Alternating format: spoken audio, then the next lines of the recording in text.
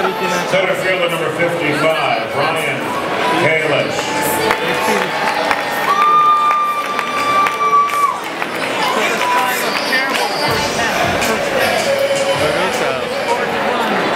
40 tisíc ľudí na jednom mieste.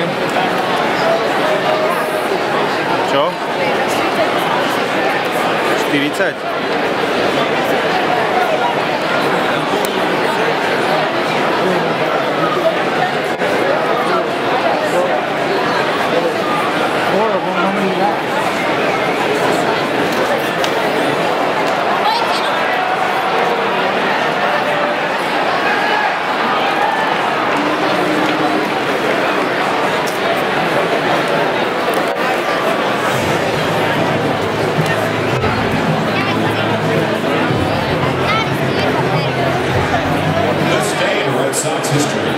September 20th, 1995.